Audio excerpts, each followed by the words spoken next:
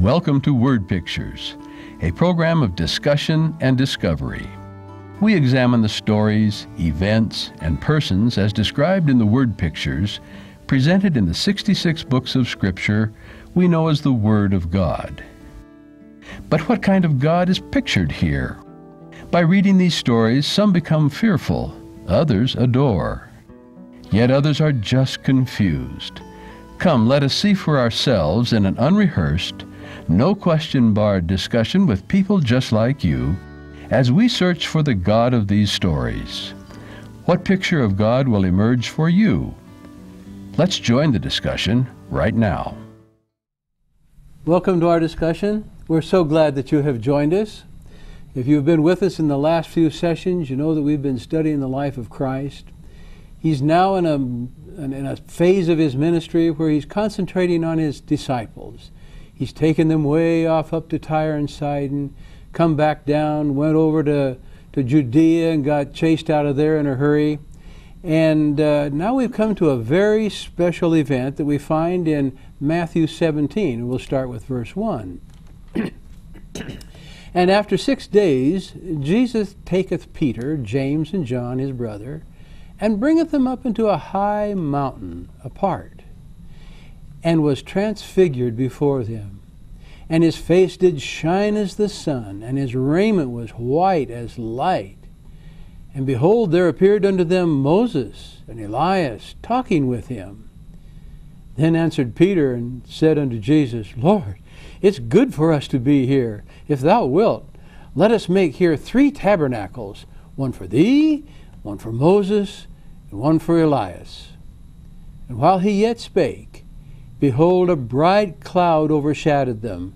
And behold, a voice out of the cloud which said, This is my beloved Son, in whom I am well pleased. Hear ye him. They were having a little trouble, though, weren't they, having, hearing him and what he was saying? They were having more than a little trouble hearing what he had to say. That's right. Listen to him. You know, please. You can see, you know, we, we say God is omnipotent. And that means he can do anything, right? That's what the word is supposed to mean. But he can't make you love. Well, he refuses to violate your freedom. That's his character. Yeah. If he got his love, he mm-hmm. couldn't. He, yeah. It just can't. If you're going to have love, you, four, can't, you, can't, you can't tweak it to yeah. make it anything else. Yeah. So here's God the Father in heaven, the Holy Spirit in heaven, Jesus here as a human being on this earth, and they're doing their utmost to convince these few disciples, and probably a few other followers as well, of the truths that were so important for their survival as a Christian group. And they're having a hard time. That's just amazing. Amazing. Well, and Jesus, after spending this time with them, you know, the next thing they looked up and the cloud was gone, and they went back down the mountain. What Jesus? Elijah is indeed coming first, answered Jesus, and he will get, I'm reading from verse 11, he will get everything ready. But I tell you that Elijah has already come, people do not recognize him, but treat him just as they pleased. In the same way, they will also mistreat the Son of Man. Then the disciples understood he was talking to them about Jesus. And when they returned to. The Baptist. What? Talking about John the Baptist. Yeah, John the Baptist. Yeah. Um, now, the one question I've got is what do you think the whole purpose of the transfiguration is? Well, that's that's a question I wanted to ask. What? Any ideas? Well, I think there are multi-purposes. I don't yes. think there's just one. Yeah. Okay. Well, give me a big one.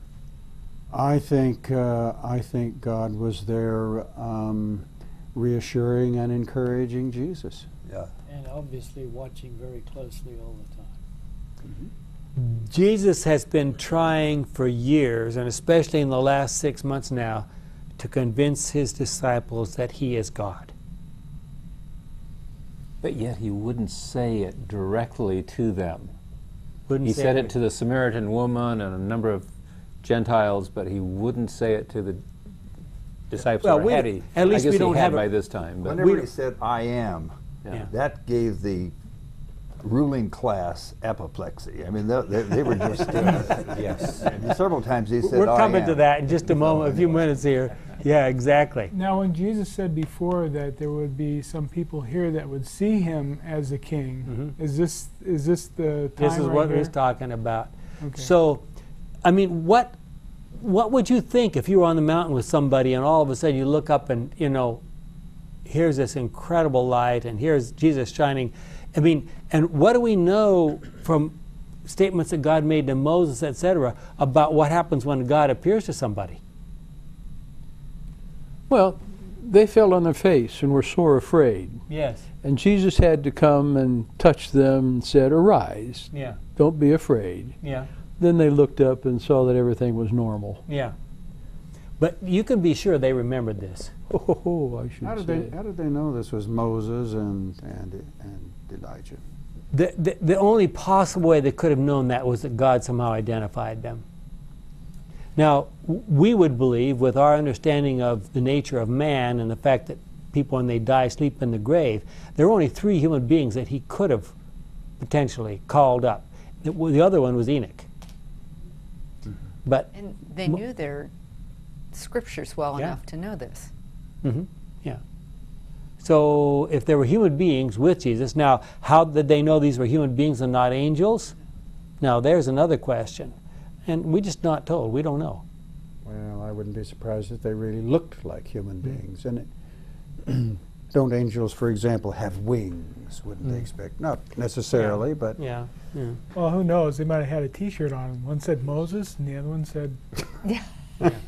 Well, moving on, when he got to the bottom of the hill, what did he find One more thing, though. I, I think this was given for Jesus, too. primarily? because when he was the father was separating him in, in Gethsemane, he had to depend on on this, on the father's uh, verbiage at his baptism and his relationship in order to get through that thing. So I think this was a, a, a major thing for him. And, and let's, let's be specific. God had told Mo- Moses that no human being can see me and live. No sinful human being can see me and live. The fact that Jesus was glorified there in their presence, that they saw him with that glory, proves that he was what? Sinless. Very important. It proves that Jesus was sinless and that he could have been taken to heaven right there. He could live You're in talking God's about the time when they went into the cloud because the disciples were there, and there's not even a record of them falling down where he had to get up to tell them to get up.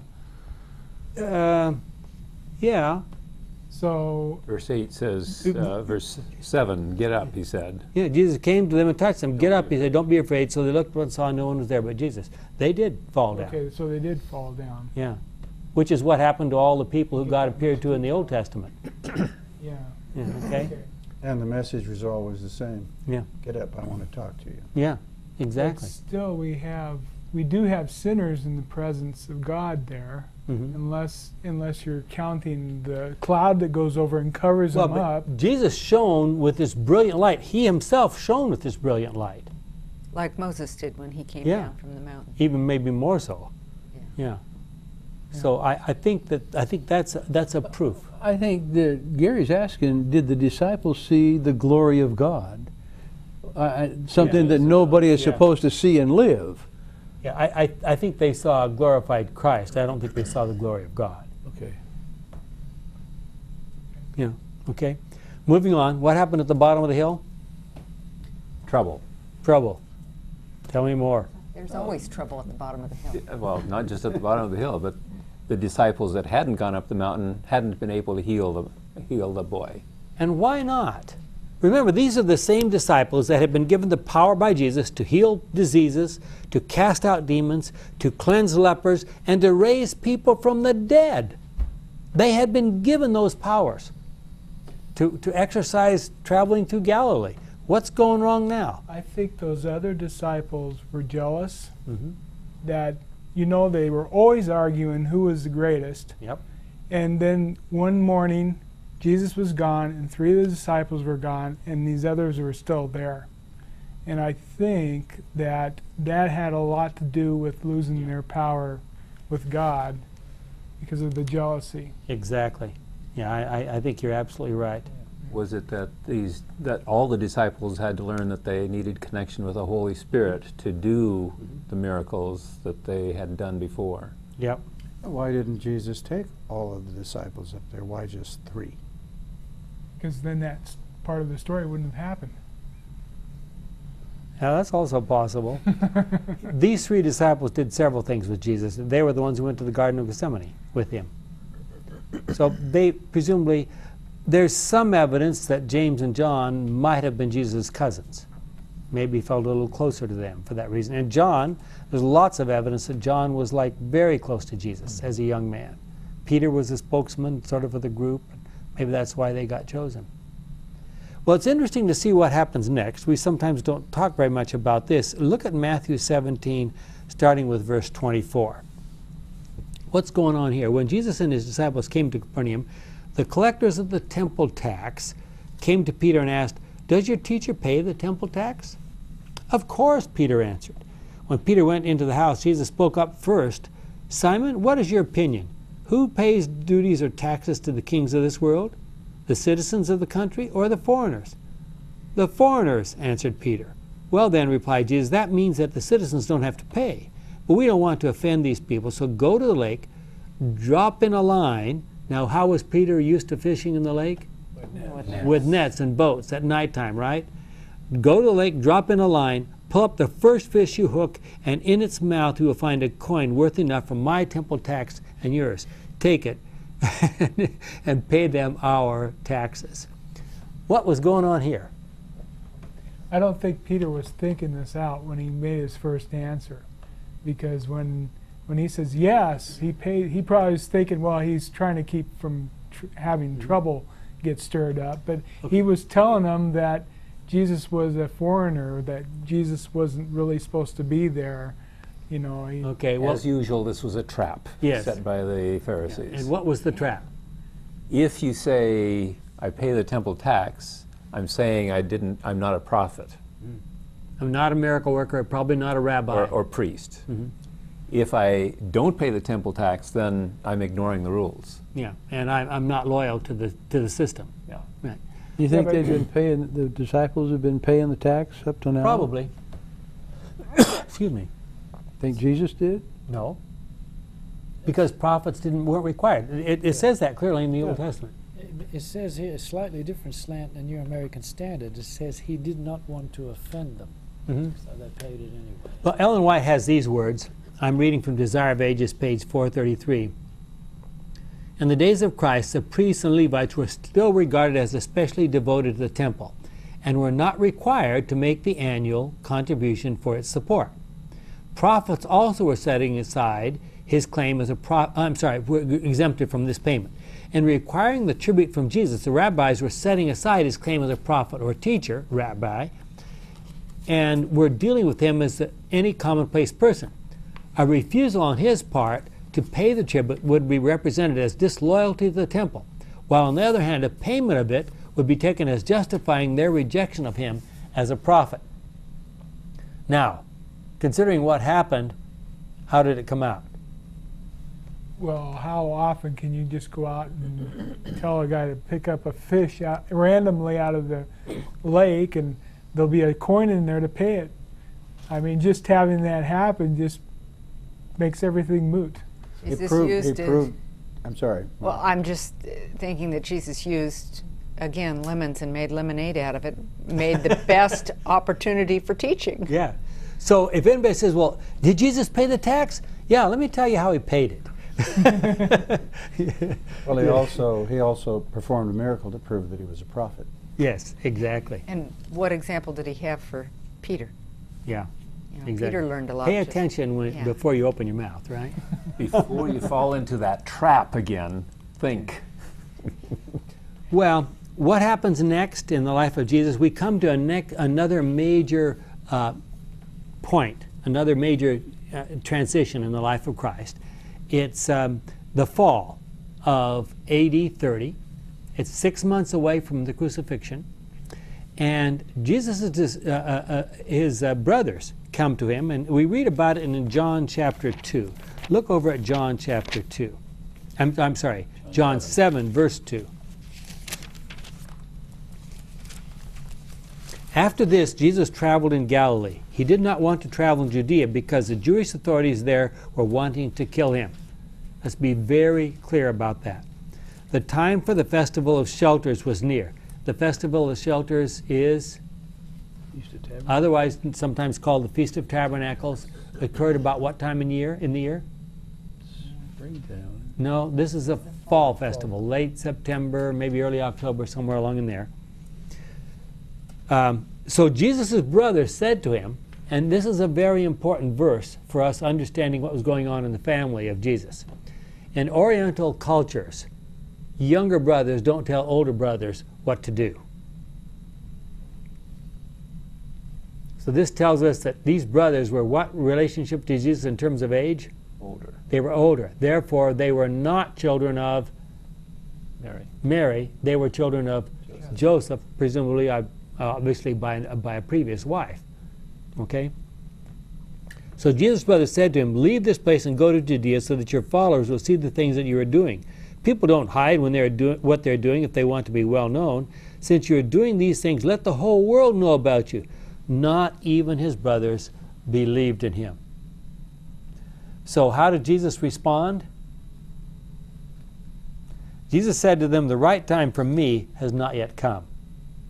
Now, some people could say, Well, wow, how, what's going on here? Because just a short time later, he went ahead and went up there. When Jesus repeatedly in his ministry, if you look carefully through and you compare the verses, Jesus always refers to my right time as the time when he's going to go up and be killed. So this is not talking about my time to go up, is not yet. He's talking about my time to be killed, my time to go for the final trip to Jerusalem has not yet come.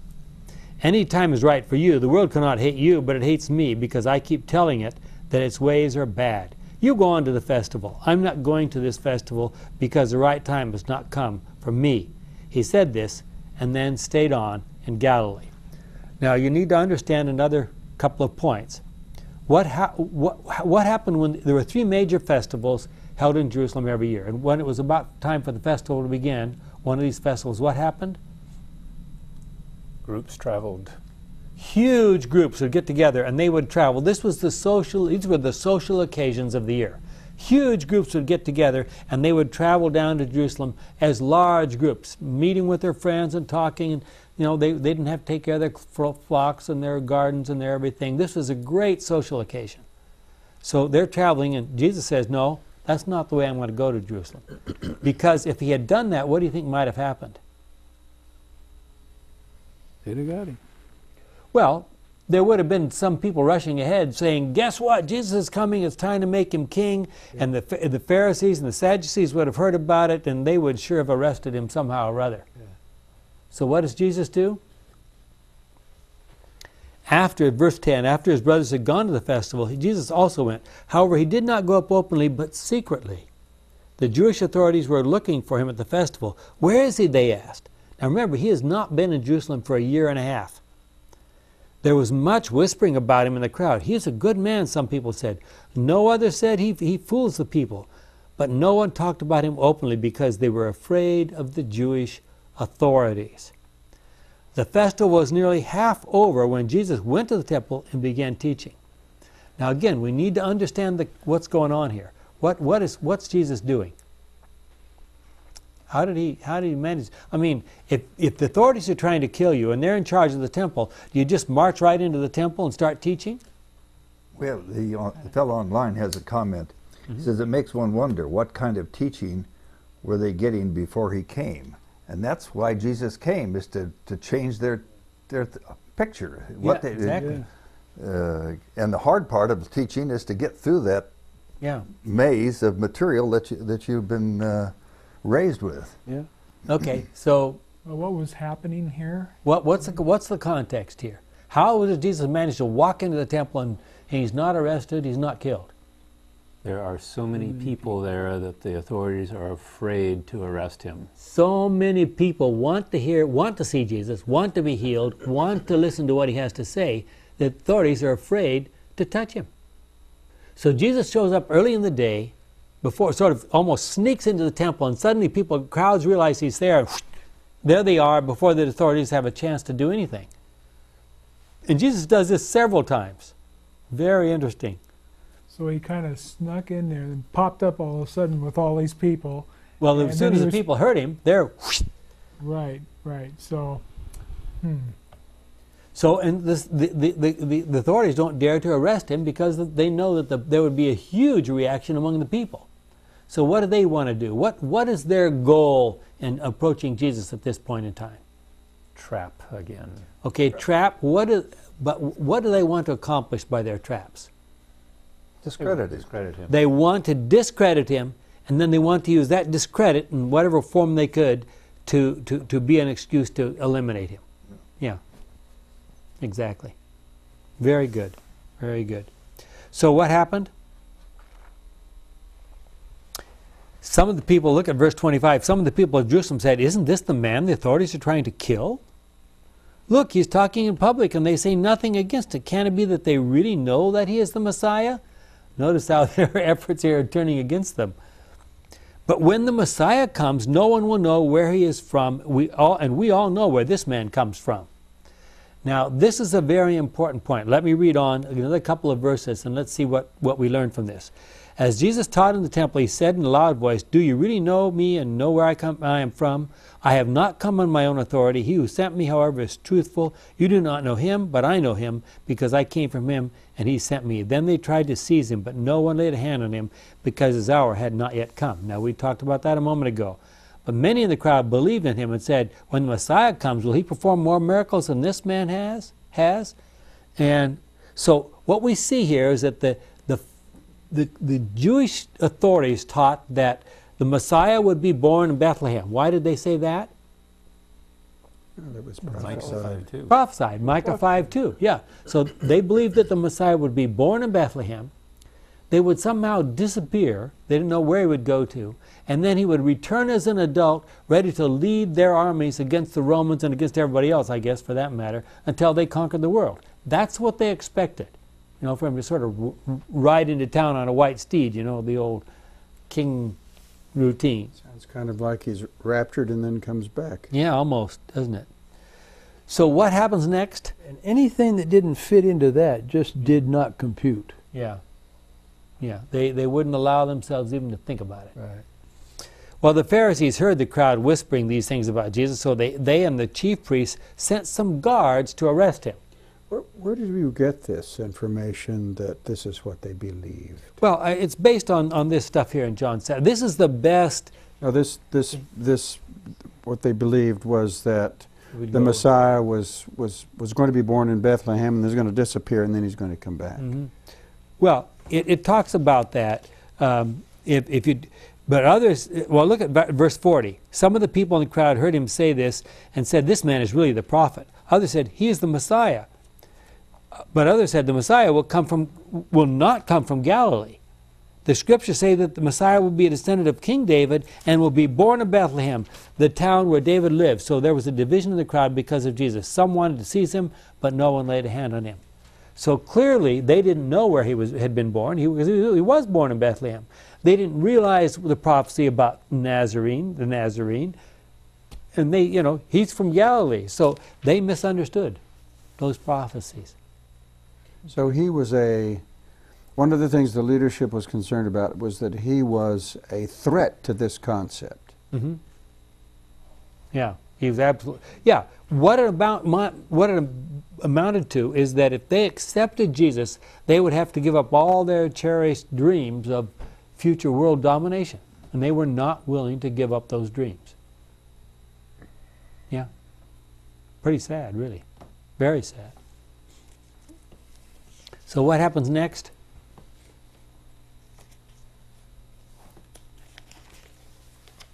The woman.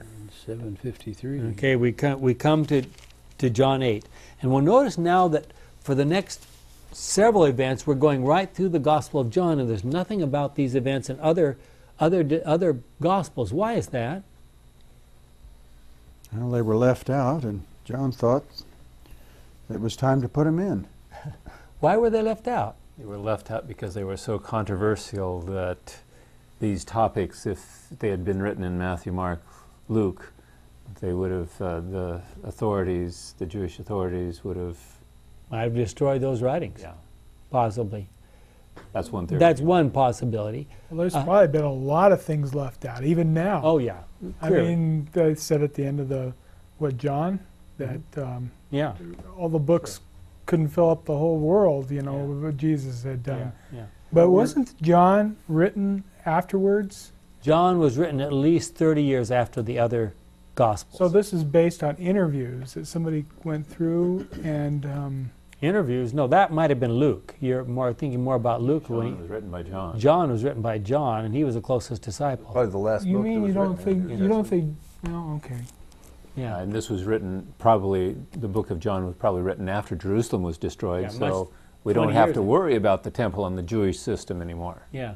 It was written You at least don't 20 think years. there would be any interviews as far as you think That- it all came from John I mean Yeah. This is written by John himself. written by John Yeah. First, first-hand witness. yeah. And he had Mark's story Well, he- already. I'm sure that that that that John was aware of the other disciple, the other gospels that had been written. Now this we've already mentioned, but let me just say it again. Matthew, Mark, and Luke focus almost all their gospel except for the final focus on the final week of, of the Pass, Passover week. They they focus on the ministry in Galilee exclusively, almost exclusively, not 100% pers- exclusive, but almost exclusively. John focuses on what happens in Jerusalem. Almost the entire book of John is, he, he completely skips the ministry in, in Galilee. Clearly, he must have figured that the other gospel writers had covered that. And he talks about what happens in Jerusalem. So that's what we want to really, that's what's really going on here in, in, in John. So we come to John 8, one of the most famous stories from the life of Jesus. It says, Then everyone went home, but Jesus went to the Mount of Olives. Early the next morning, he went back to the temple. All the people gathered around him, and he sat down and began to teach them. The teachers of the law and the Pharisees brought in a woman who'd been caught committing adultery. They made her stand before them all. Teacher, they said to Jesus, this woman was caught in the very act of committing adultery. In our law, Moses commanded that such a woman must be stoned to death. Now, what do you say? They said this to trap Jesus so that they could accuse him. But he bent over and wrote on the ground with his finger. As they stood there answer, asking him questions, he straightened up and said to them, Whichever one of you has committed no sin may throw the first stone at her. Then he bent over again and wrote on, wrote on the ground. When they heard this, they all left one by one, the older ones first. Jesus was left alone with the woman still standing there. He straightened up and said to her, Where are they? Is there no one left to condemn you? No one, sir, she answered. Well, then, Jesus said, I do not condemn you either. Go, but do not sin again.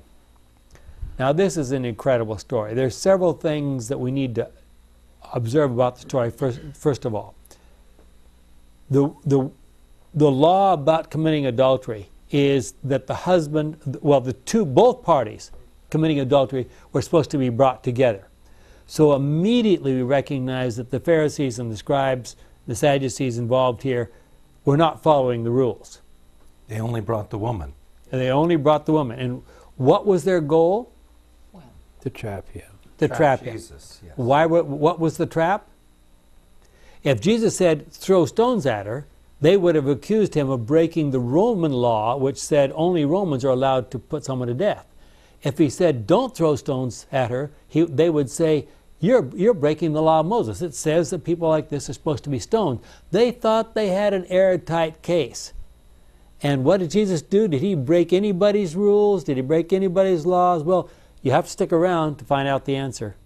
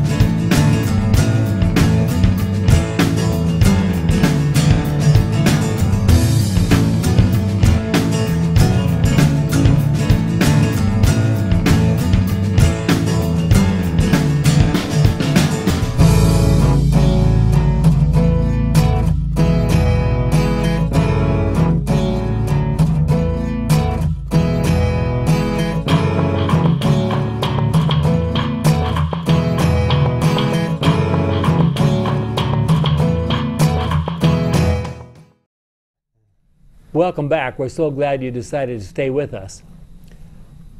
Let's look at this story in a little more depth, if you will. Um, Jesus recognized all this stuff. He was writing, he- could have done several things. First of all, he knew perfectly well what was going on. His divine uh, insight, or even perhaps his father telling him, he knew exactly what was going on. Now, he knew that those people who brought the woman were real scoundrels. They weren't trying to they weren't trying to uphold the laws of Moses at all. The the man, whoever he was, wasn't brought at all. They weren't even trying to follow the rules. It was probably one of them. Probably one of them. Which brings us the next question. What was Jesus doing? You know, he could have said, "You bunch of sinners, I'm going to write your, your, your, your sins on the, on the wall, the stone walls of this temple, and they will be permanently recorded there." He could have done that. Oh, absolutely. But did he?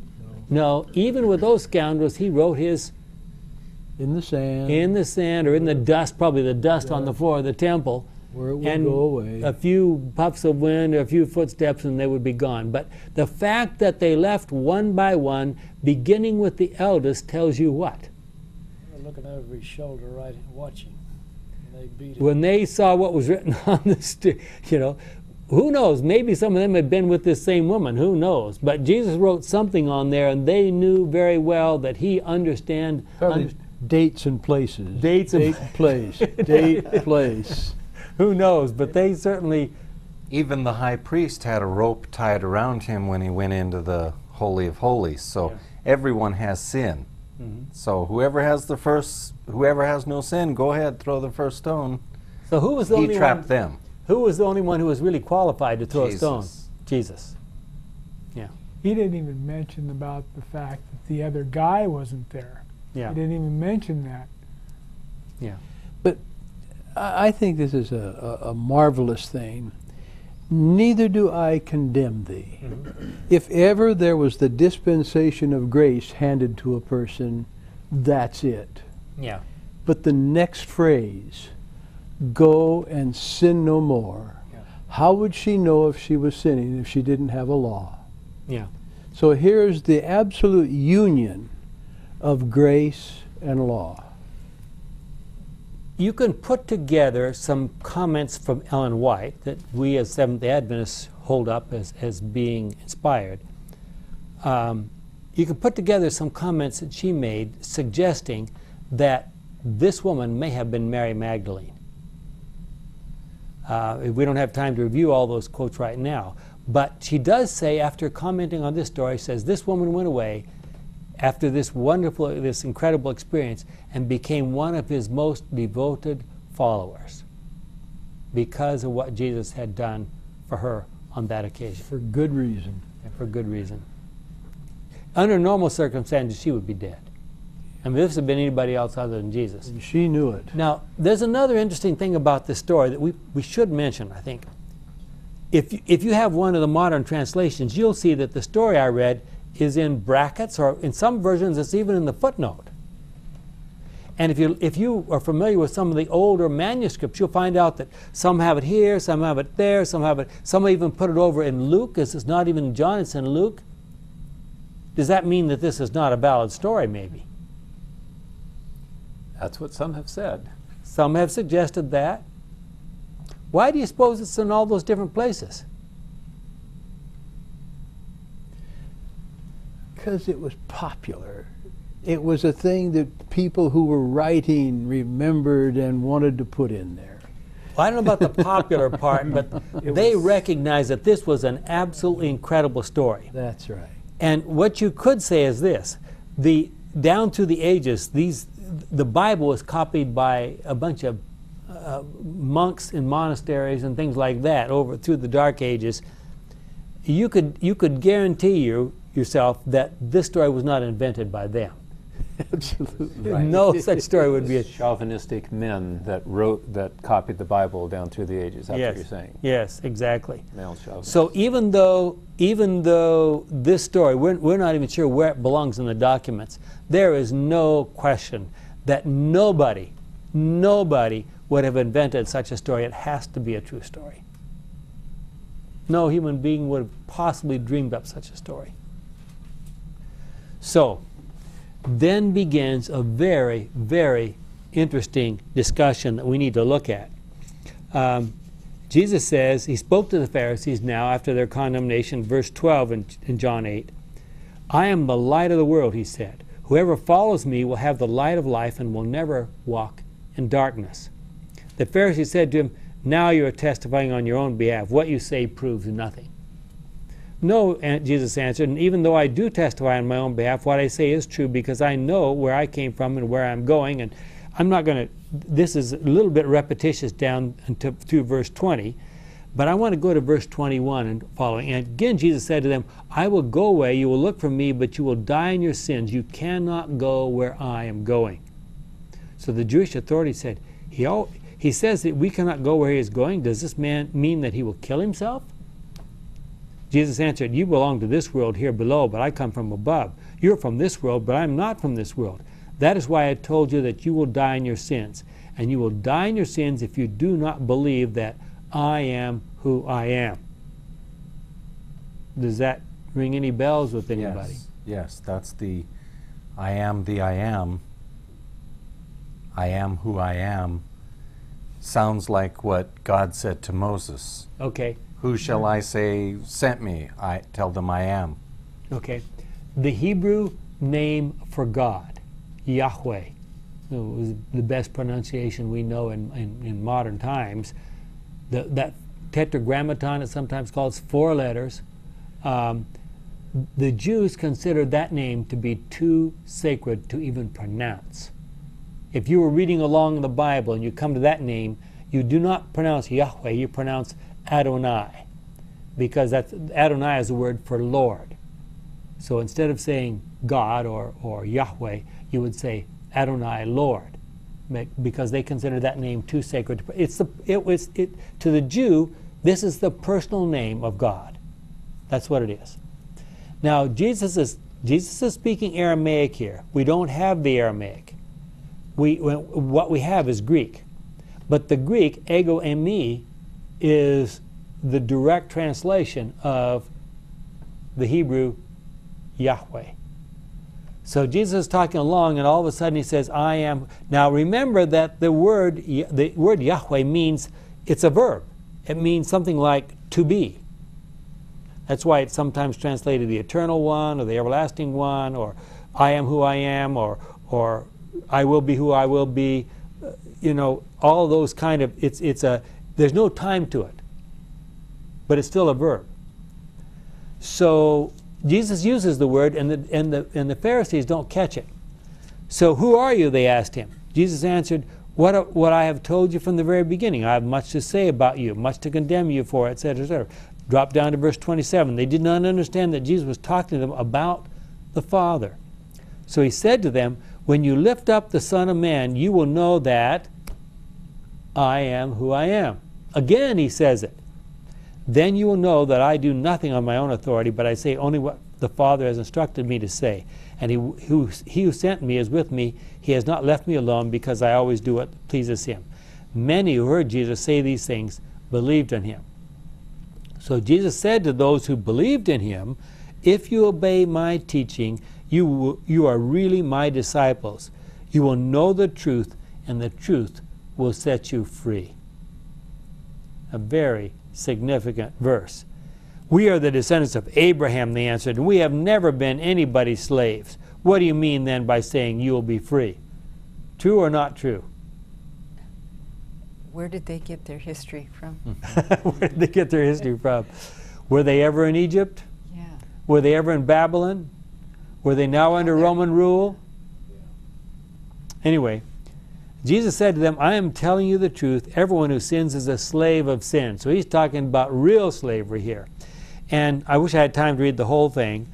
Um, but they, he says, you know, you don't even know God. And they said, God is our Father, the only Father we have. Drop down to verse 42. Jesus said to them, If God really were your Father, you would love me because I came from God and now I am here. I did not come to you. Uh, come on my own authority, but he sent me. Why do you not understand what I say? It is because you cannot bear to listen to my message. In other words, you can't you can't accept what I'm saying to you. You are the children of your father, the devil, and you want to follow your father's desires. What do you suppose Jesus' voice sounded like when he said those words? Sad. Well, you can only imagine. But you could you Those could are his children. but you could Yes. you could you could repeat those in anger and you could sound like you had the hair on the back of your neck raising up or you could repeat those words with tears in your eyes Well, their response is for verse 48. They, they asked Jesus, Were we not right in saying that you are a Samaritan and have a demon in you? So both sides now are saying the other side is demon possessed, basically. And Jesus goes on, and I wish I had time to read the whole, all the verses, but you need to drop down um, to verse 56. Your father Abraham rejoiced, this is Jesus speaking, your father Abraham rejoiced that he was to see the time of my coming. He saw it and was glad. They said to him, You are not even 50 years old, and you have seen Abraham? I am telling you the truth, Jesus replied. And now he says it in a way you can't possibly miss it. Before Abraham was born, I am. And what was their response? get a stone They picked up stones to throw at him, but Jesus hid himself and left the temple. So they start out with plans to stone a woman, and they end up with plans to stone Jesus.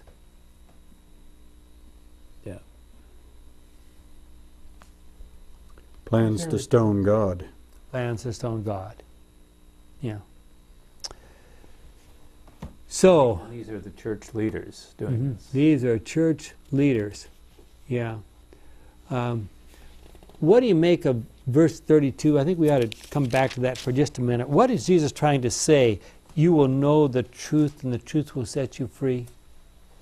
Could that have anything to do with us? Sure. Well, we're pretty tangled up with a lot of lies. Mm-hmm. The lies kind of are, are binding. isn't this another way where Jesus says I am the way the truth and the life Mm-hmm. if you know me Mhm. the truth I can make you free Yes. Free from what? Free from sin, slavery to sin. And the only way to be free from the slavery of sin is to know the truth about God.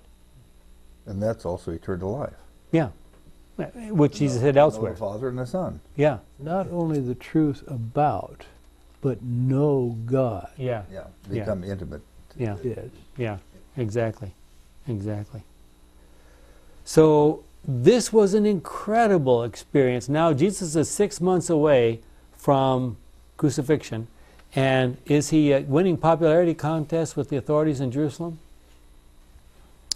not quite Not really. Not really. But why is he doing this? Do you think the disciples were there listening to all of this? Why would he? What's he trying to accomplish? Some of it is being recorded for us. Yes. The disciples were hearing this and recording it for us and our associates. Okay. But there's a very important reason why they needed to hear it too.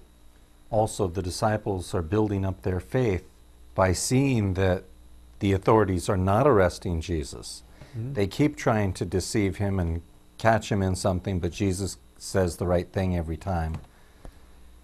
But we learned a lesson in our last uh, last week's discussion that we need to come back to here. What was that? Do you remember?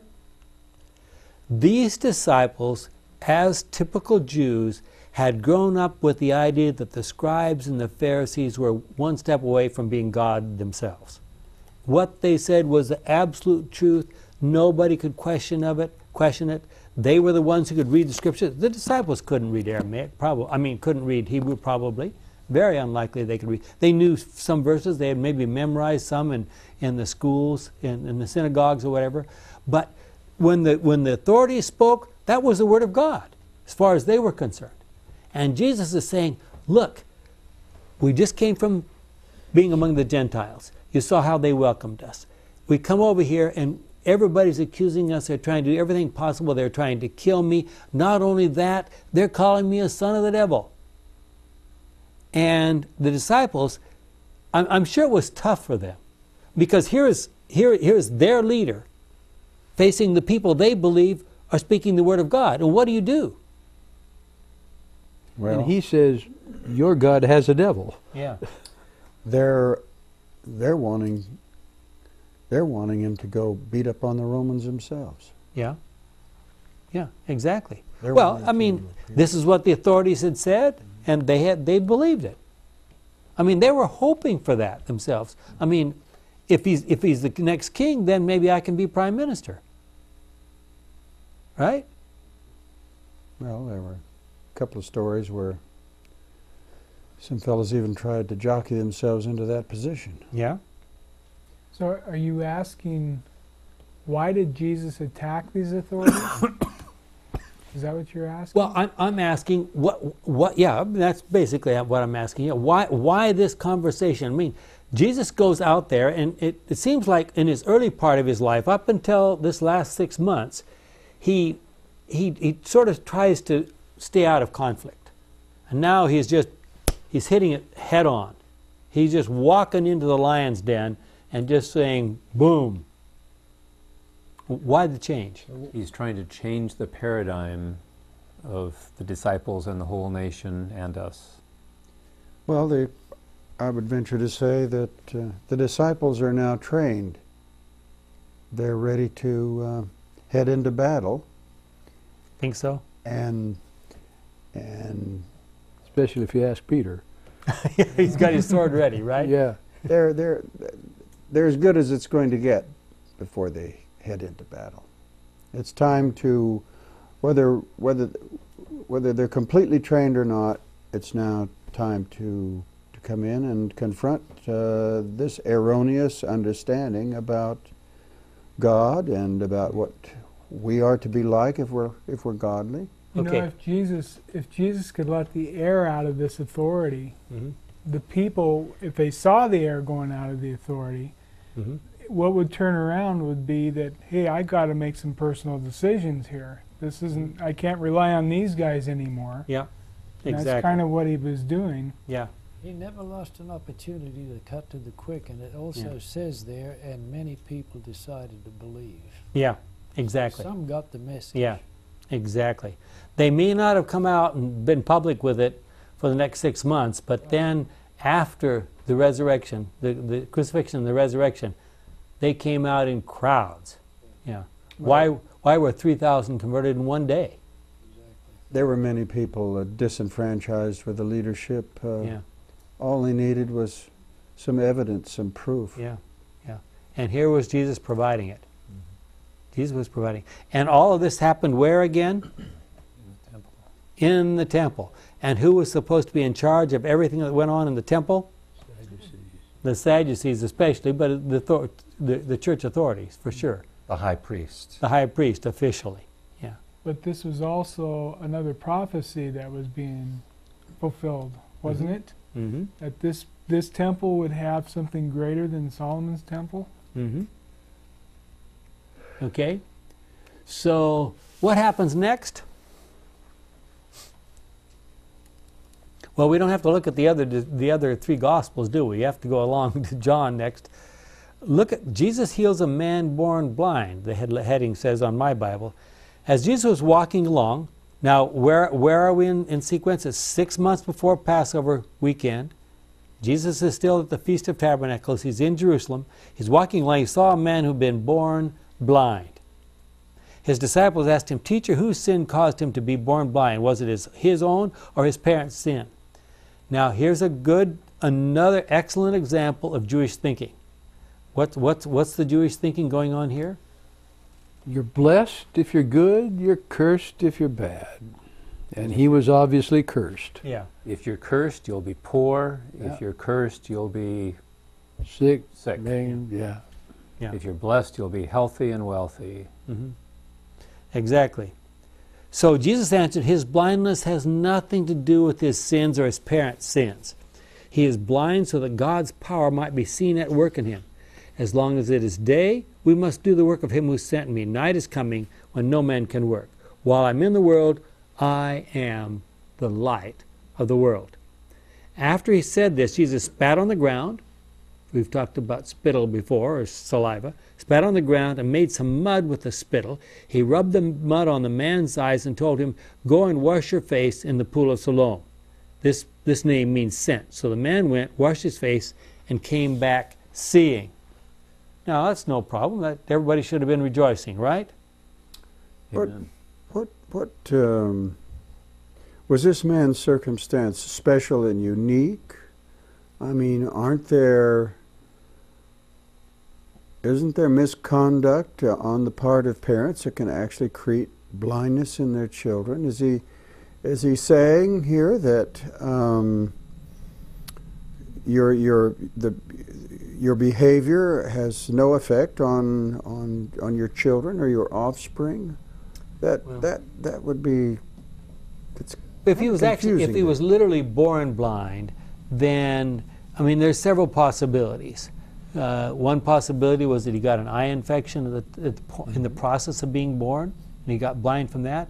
I, we used to have a pastor in Africa that worked that I worked with uh, that was blind because he got measles when he was very very young, and the witch doctor told his mom to make this this brew out of the roots of a tree, and she stuck it in his eyes, and he was blind from the rest of his life.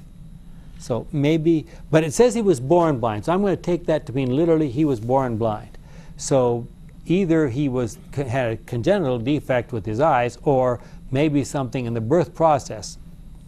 We have to assume. Anyway, the point is the guy had not been able to see since the, since the point when he was born.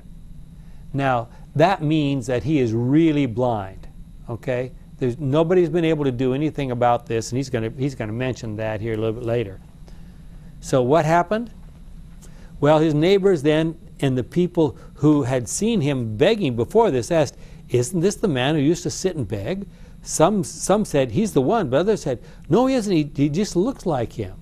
I mean, this man was going around with a beam on his face. He was smiling so big and so happy that they weren't sure that it was the same guy. So the man himself said, "I am the man."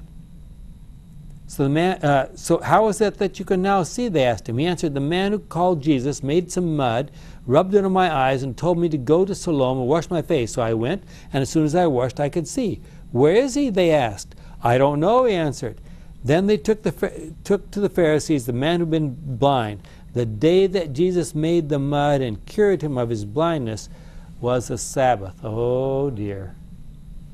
Now we got a big problem. What's the problem?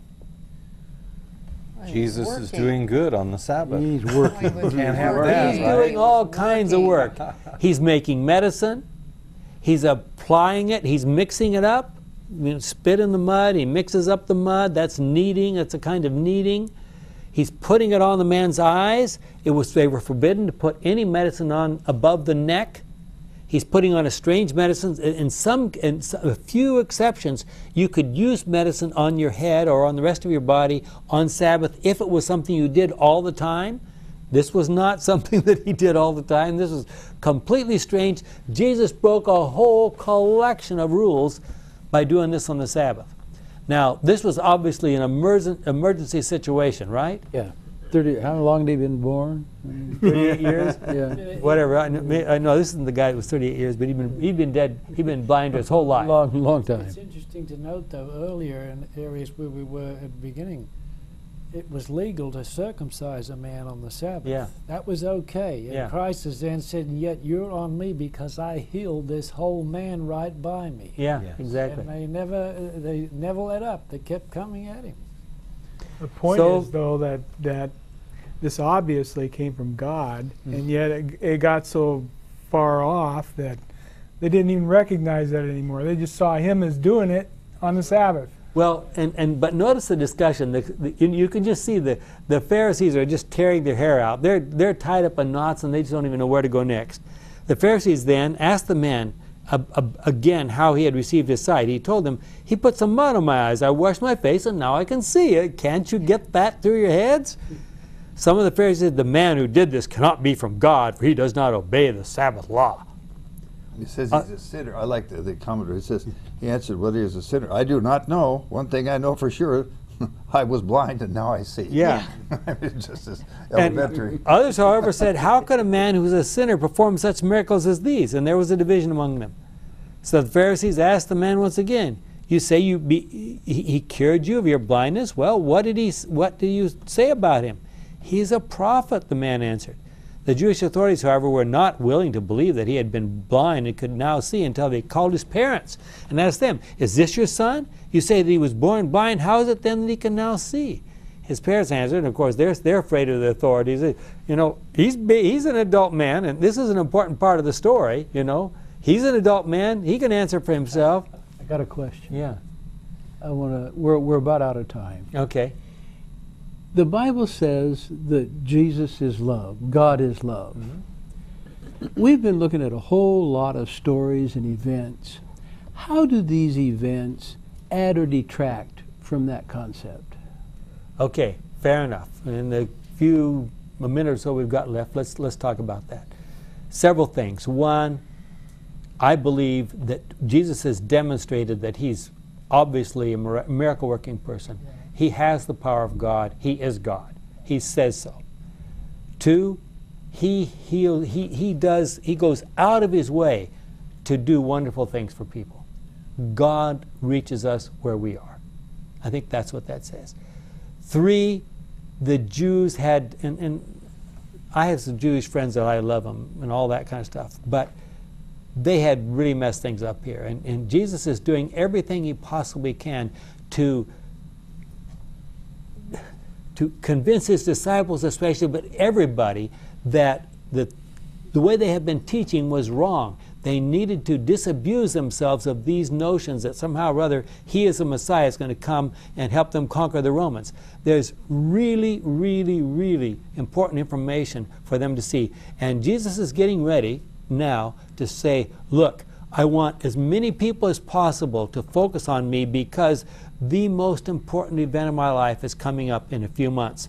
And I want to get as many people's attention as I can so you'll be there and you'll be watching and you'll ask the right questions when that day comes. See you again next week.